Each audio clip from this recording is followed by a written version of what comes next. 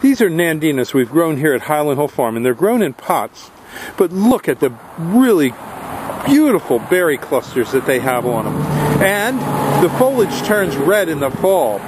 It's green in the summer, red in the fall. Also, it grows to 5 to 8 foot high, and it's deer resistant, and it can grow in partial to full sun.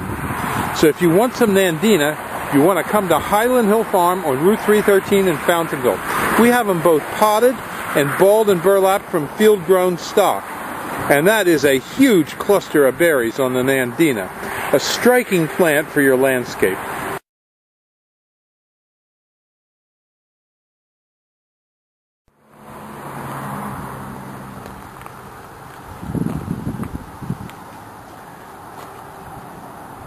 This video is brought to you by Highland Hill Farm. We grow and sell screening and buffering trees for privacy and sound barriers.